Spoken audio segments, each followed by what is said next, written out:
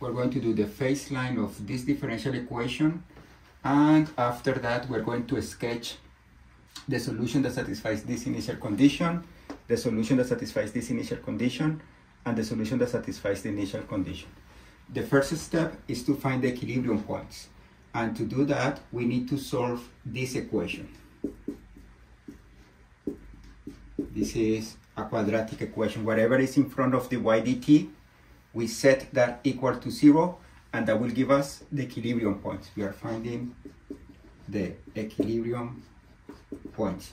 Then this, we can use the quadratic, and in this case we can factor. This is y plus something, y minus something equals zero.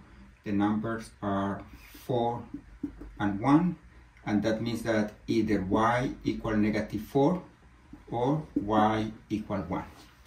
Then to do the phase line, we do a vertical line, and we plot only the equilibrium points. We plot 1 and we plot negative 4. Let's see, this is 0, negative 1, negative 2, negative 3, negative 4. We don't plot the 0, only the equilibrium points 1 and negative 4. Then when we do that, this line with these two points, this line is divided into some pieces. In this case, we get piece number 1, piece number 2, and piece number 3. And then in each piece, we take a test point and we replace it here. Then, for example, if we pick negative 5, negative 5 is going to represent this piece. And when we substitute negative 5 here, we get negative 5 squared is 25. Plus 3 times negative 5 is 25 minus 15 minus 4 is going to be a positive number. We only care if it is positive or negative. And since replacing negative 5 here give us a positive number and negative 5 was representing this piece, then we do an arrow going up. In this piece, maybe the easiest point to pick is 0. We can pick any point. And when we replace 0, y equals 0, when we pick 0, we get that this becomes, this expression becomes negative 4, negative. That means that in this piece, we're going to have an arrow going down. And if we pick a number like 5, if we pick 5, then we have 25 plus 15 minus 4. We don't care about the exact value. We care that this number, when we pick 5 here, is positive. That means that the arrow goes up. Notice that if we pick 2 instead of 5, we get 2 squared is 4 plus 6 minus 4 is still positive, then the arrow will go up. It doesn't matter what test point you pick, then that will give us the, the direction of the arrow. This is what is called the phase line. This is the phase line. We want to classify the equilibrium points. Notice that if we have an equilibrium point and the arrows before and after they go away, then this is called this is called a source. Then here we have that this is a source if we have an equilibrium point and the arrows goes toward the equilibrium point, then the equilibrium point is called a sink. Then this is a sink. Notice that so far we have the phase line, the equilibrium points, and we have classified the negative 4 is a sink and 1 is a source. The other possibility that we may have is if the two arrows goes in the same direction. When this happens, this equilibrium point is called a node.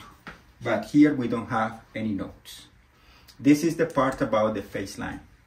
Now, in order to do the sketch of this solution, for example, then something that we do, this is the zero, then we try to, this is the zero in the phase line, we try to do the the t-axis like aligned with y equals 0.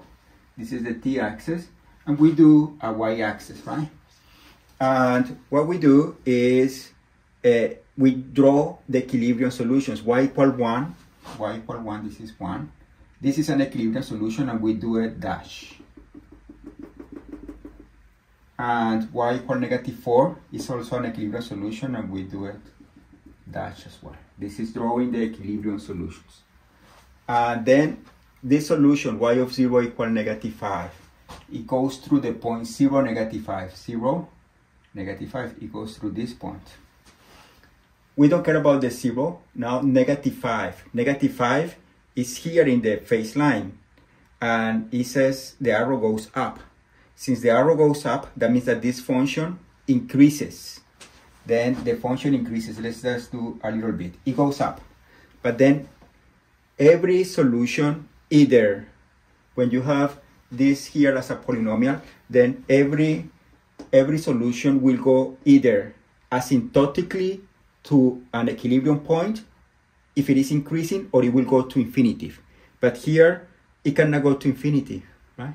Because there is this equilibrium point. Then it must go asymptotically to an equilibrium point. Notice that we have that this is a solution and two solutions never cross, then you cannot cross it. Then it's going to go like this, asymptotically to an equilibrium point. It's going to go through here.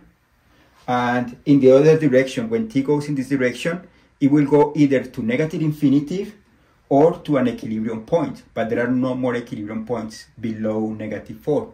That means that this will just go to negative infinity. Then this is the sketch of this solution. Now this solution, negative y of negative 2 equals 0. That means that when t is this is 1, this is negative 1, and this is negative 2. Right? It will go, y of negative 2 equals 0, it will go through here. 0, 0 is here. It's in this piece. That uh, In that piece, the arrow goes down. That means that the function is decreasing. The function is decreasing, and then if it decreases, it will decrease to it will decrease to negative infinitive unless it's stopped by an equilibrium point. And then this function is going to be stopped by this equilibrium solution. But then it's going to be asymptotic to this one. Then it's going to go like this.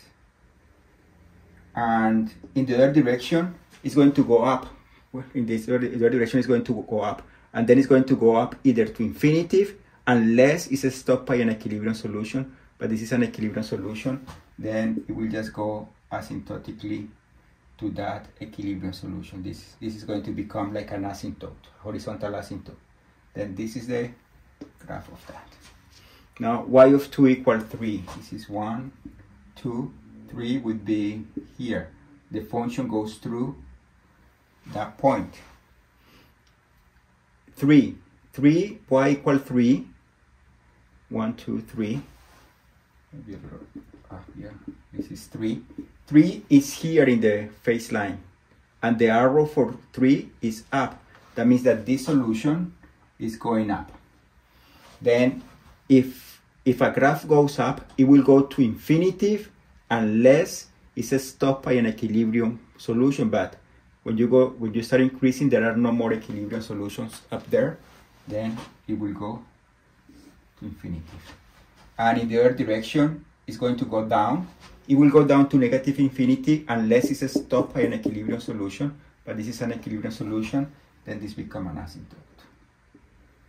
And this is the graph that satisfies this. Right? This is this graph, this graph, and that graph. Okay. That's it.